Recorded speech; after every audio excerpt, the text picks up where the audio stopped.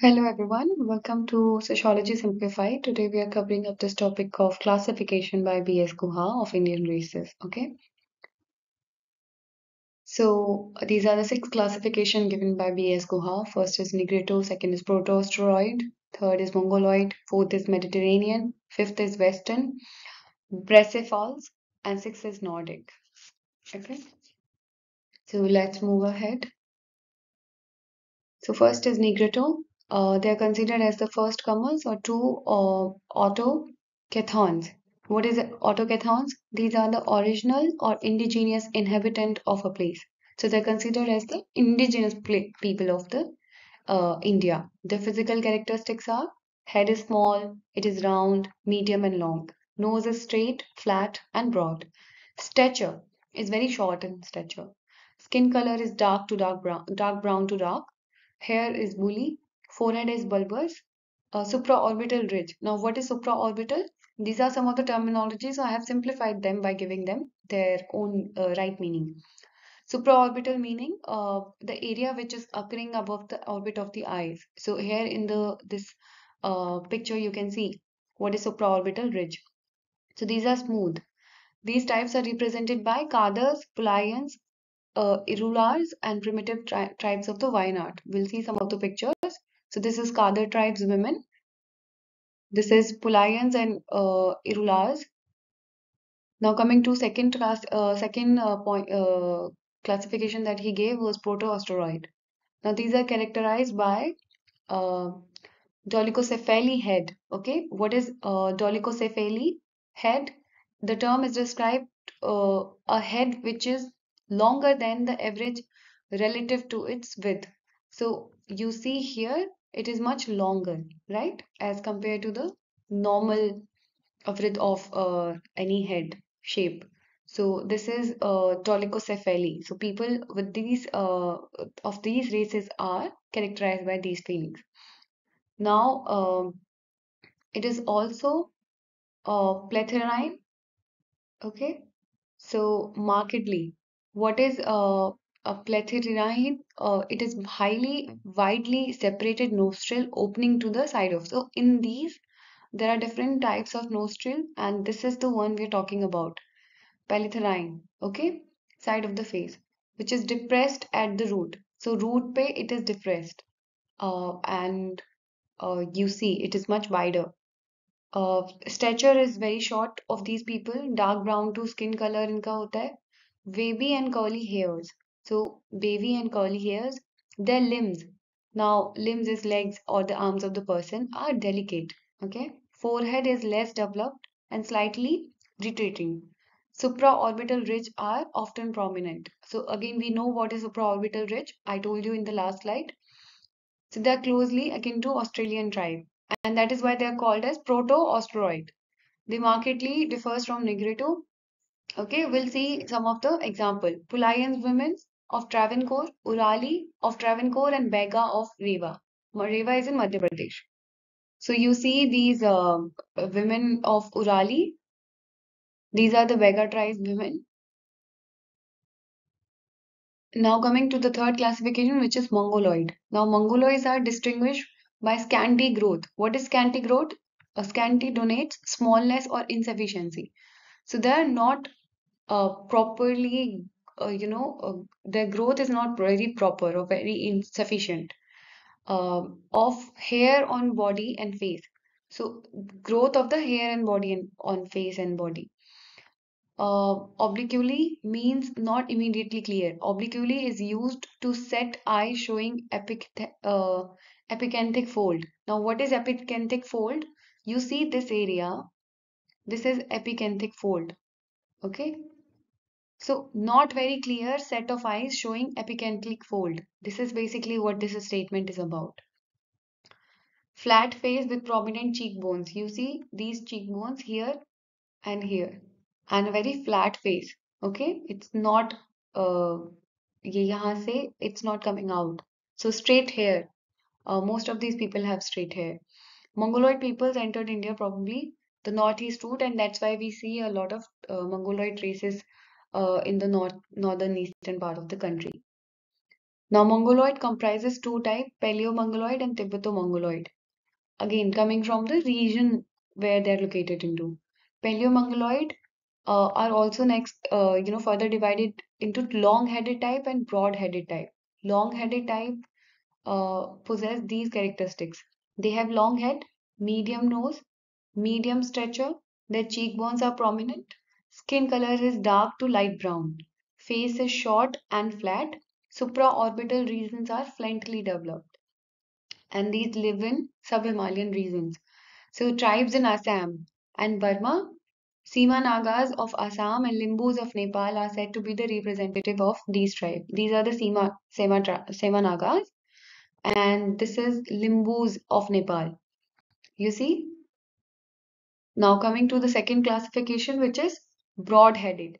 Now broad-headed is represented by Lepchas of Kimpong, uh, uh, Kalimpong.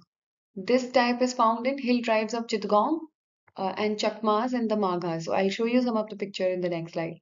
Their characteristics are broad head, round face, dark skin color, medium nose, and uh, this again the eyes they have epicanthic fold so again that fold which I showed you in the first slide. And this is Lepchas of Kimpong this is again the second classification broad-headed one. Chakmas and the Mags. uh, you can go back to the video.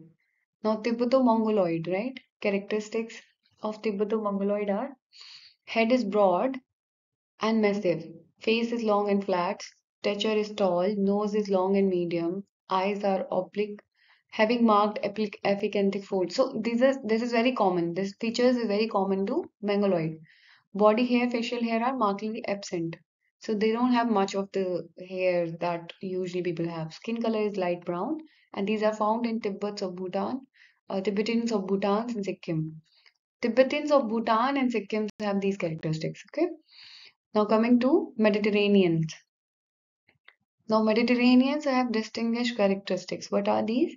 Long and narrow head, bulbous uh, forehead, projecting occiput. Uh, what is it? Basically, back part of the head or the skull, and high vault. Small and broad nose, medium stature, face is narrow, chin is pointed. So, chin is pointed is a very prominent feature in them. Body is slightly built, and their skin color is dark, and hair, face, and body is scanty. Hair on the face and the body is very scanty. Now, at present, the Dravidian speaking people in South India show this type. Tamil Brahmins of Madurai, Nayars of Cochin, and Telugu Brahmins are the best example. I'll show you uh, some of their uh, pictures. Oh, it is after these all slides. So I have uh, also mentioned about the classification of the Mediterranean. Classification of Mediterranean happens in the tree path. First is Paleo-Mediterranean. Now these people have uh, characterized by long head, now again same, projected occiput of the high vault. Now show medium stature, small broad nose, narrow face and pointed chin. Hair on the face are scanty. Skin color dark. People introduce megalithic culture to India. Now these are old civilization uh, related facts. Dravidian speaking, uh, speaking people of South India have uh, this type of uh, features. Tamil Brahmins of Madurai, Nayars of Cochin, Telugu Brahmins are the best example. Second classification is Mediterranean itself. What is it? The features include long head, arch forehead, narrow nose, medium to tall stature, and light skin color. The chin is well developed. Again, chin is a very important feature. Hair color is dark, eye color is brownish to dark. Hair on the face and body is plentiful. Where it was scanty and here it is plentiful. Uh, these people live in the regions like Uttar Pradesh, Bombay, Bengal, and Malabar. And Nambudiri Brahmins of Cochin, Brahmins of. I also put up a lot of pictures, but after these slides, I'll show you the pictures. Allahabad, Bengali Brahmins, right? Now, coming to the third, Oriental type. This is also the classification in the Mediterranean. People resemble to Mediterranean is almost all features except the nose, okay, which is long and convex in this case. So, Oriental people have long and con convex in this case and body is uh, abundant and skin color is lingit uh, so light color so Baniyas of Gujarat Kathis of Kathiawad and Kayasth of Bengal so I'll show you their pictures now this is Tamil Brahman's picture okay Now this is Nayars of Cochin. These pictures. You see chin is very pointed. You see chin, right? Now this is also again chin. Look at their chin. Very pointed. This is Nambudiri Brahman's picture. And these are the Khatris. They come and the Pathans are also. Now coming to Western uh, Falls. Now, Western Falls are also further divided into three parts, Dinaric, Alpinoid and Armenoid. Right? Let's take, uh, so Alpinoid, what is Alpinoid? Uh, who are the Alpinoids? Characterized by broad head, rounded occiput, prominent nose and medium. So this is nose features. Uh, medium stature, sorry. This is, uh, you know, in continuation. Round face, uh, skin color is light, hair on the uh, body and found in abundant. Uh, body is thick, thickly set. Now this type is found in Bania of Gujarat. Who was Bania of Gujarat? Kathia of Kathiawad and Kayastha of Bengal. Second is Kathia of Kathiawad. See, these are the people. Kathia of Kathiawad. Now Dinarics. These are the second types.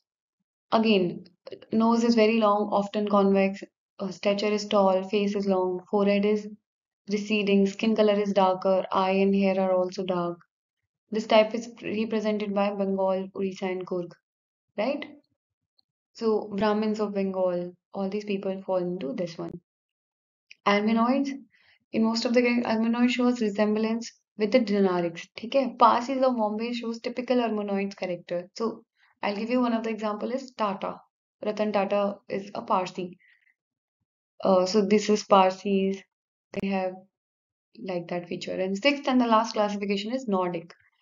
Now their head is long and uh, uh, their arched forehead, the very tall stature, strong jaw and powerfully built body. Nose is fine and narrow and straight. Eyes often have bluish tint.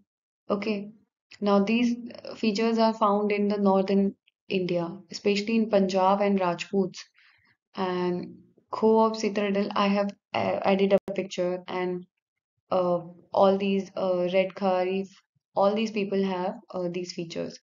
So this is the Kho of uh, Chitral and these are some of the you can see such peop such characteristics in the Rajputs and in people in the Punjab as well. Okay, I hope you like the video. I hope it is helpful. So please like, share and subscribe to my channel.